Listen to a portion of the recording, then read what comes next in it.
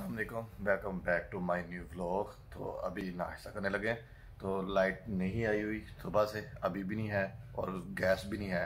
Cylinder पे अपनी चाय गर्म करके हटाऊँ। तो पता नहीं रोज़ाना का मामूल बन गया, कहते हैं रोज़ाना ही लाइट जाया करेगी और साथ गैस भी जाया करेगी। बंदा जनरेटर भी ना चला सके। तो ये सूरत रहा है। चाय पी लेते हैं, फिर बाज़ार जाना है, सब्ज़ी वगैरह ले करते हैं।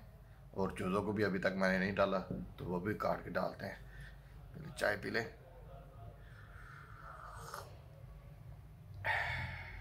मुझे लग रहा है बाहर सब्जी वाला आ गया तो सब्जी पूछ लेते हैं मिलते हैं क्या मिलते आवाज आ रही है सलामकुम ਤੇ ਟਮਾਟਰ ਕਰ ਦਿਓ ਪਜਾਮਾ ਦੇ ਤੇ ਪਜਾਮਾ ਦੀਆਂ ਮਿਰਚਾਂ ਹਰੀਆਂ ਮਿਰਚਾਂ ਮਿਰਚਾਂ ਚੰਗੀਆਂ ਨਾ ਉਹ ਬਰੀਕ ਤਾਂ ਨਹੀਂ ਸੌਦਾ ਤੇ ਸੇਬ ਤੱਕ ਰੱਖੀ ਜੇ ਮਾੜਾ ਸੌਦਾ ਨਹੀਂ ਚੱਲਿਆ ਠੀਕ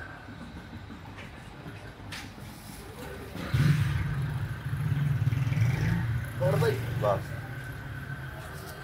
ਧਨੀਆ ਪ- ਮੂਲੀ ਦੇ ਪੱਤੇ ਨਹੀਂ ਹੈਗੇ ਲੈਣਾ ਭਾਜੀ ਜਿੰਨੀ ਮਰਜ਼ੀ ਲਿਆ ਮੇਰਾ ਵੀਰ ਯਾਰ ਦੇ ਦੇ ਹੈਗੇ ਤੇ ਮੈਂ ਆਪਣੇ ਵੀਰ ਨੂੰ ਮੂਲੀਆਂ ਤੋੜ ਕੇ ਪੱਤੇ ਦਊਂਗਾ चलो जी सब्जी मुझे यहीं से मिल गई नहीं तो मुझे बाजार जाना पड़ना था तो अभी सब्जी यहीं से मिल रही है और थोड़े से मूलियों के पत्ते मिल गए लेकिन हम बाजार से भी लेके आने पड़ेंगे क्योंकि दो दिन तो निकालने हैं ना मूलियों के पत्ते भी काट लिए हैं अभी डाल देते हैं अपने चूज़ों को चूज़ों तो नहीं अब तो मुर्गियाँ हो गई हैं या मुर्गे हो गए तो मैं तो चूज़े ही कहता हूँ क्योंकि ज़ुबान पे मेरे चढ़ा हुआ है तो चूज़ों को डाल देते हैं। कल ही से मैंने जिमसा लगा के जोड़ा था तो देख लेते हैं जुड़ गया है कि नहीं जुड़ा तो अच्छे तरीके से जुड़ गया, अगर अब इंशाल्लाह कभी अल्लाह ना करे। मैं क्या कहने लगा था तो वैसे जुड़ गया ये।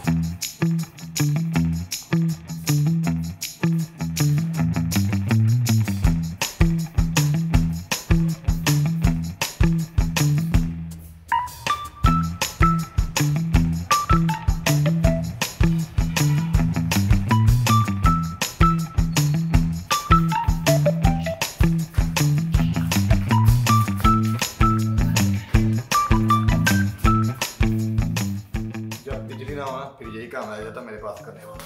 बिजली नहीं आ रही। एक मिनट तो भाई दोबारा फिर चली गई। ये था ऐसा तेरे वास्ते एक चैलेंज है। एक चैलेंज है तेरे वास्ते। इधर आता तो नहीं। ये कैमरे तो कहते डरदा नहीं नहीं, इधर आ। ले ये कैमरे तो अगे चैलेंज तेरा तेरा रिएक्शन रिकॉर्ड करने हैं। इधर आ। मेरा भी टाइम तकरीबन, पौने पाँच हो रहे हैं तो अभी चलते हैं। बाइक मैंने स्टार्ट कर दिया है। तो काफ़ी दिन हो गए थे बाइक को स्टार्ट भी नहीं किया था और राउंड भी नहीं लगा के थे राइड भी नहीं की थी। तो अभी चलते हैं राइड करके आते हैं। थोड़ी सी बैटरी वगैरह भी चार्ज हो जाएगी आज पहले बड़ी मुश्किल से स्टार्ट हुई है। पता नहीं, सर्दियों में ना बैटरी इसकी ज़्यादा जल्दी ड्रेन हो जाती है।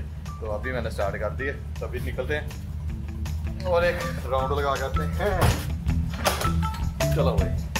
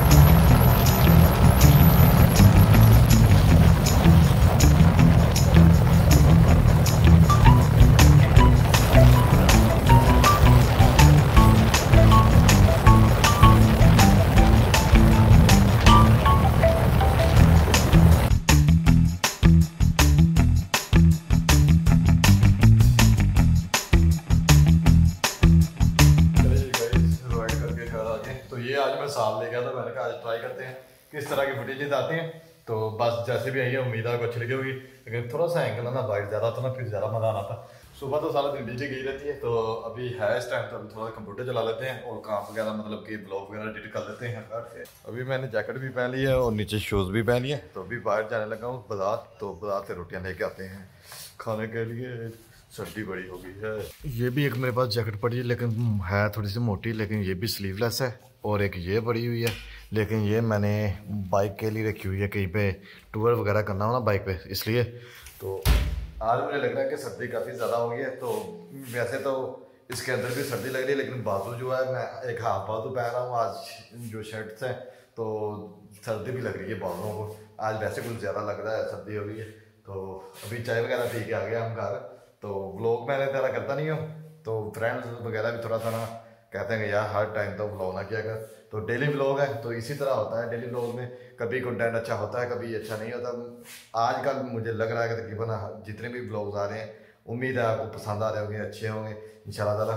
तो ये जो यार, ये हमने इन्वेस्टमेंट की थी पाँच हज़ार की पिछले साल तो इसकी बैटरी जो है ना, वो डेड हो गई है। तो बैटरी नहीं है इसकी तो उड़ाने का दिल कर रहा था इसे। तो बैटरी लानी पड़ेगी तो अभी बैटरी भी तकरीबन पाँच सौ हज़ार दो सौ की मिलेगी मैं पता नहीं कितने की मिलती है मेरा इन्वेस्ट करने को पैसे दिल नहीं करता बैटरी बहुत जल्दी ख़राब हो जाती है इसकी यार तो बस मैंने इसे सजावट के तरीक तो पे रख दिया जब कभी दिल करेगा कुछ ज़्यादा इसे उड़ाने का फिर बैटरी खरीद लेगा अभी फ़िलहाल बैटरी की नहीं खरीदेंगे तो वो लोग आज छोटा सा लोग है उम्मीद है आपको अच्छा सा लगा होगा अगर अच्छा लगा तो प्लीज़ वीडियो को लाइक कर दीजिएगा अल्लाह हाफिज़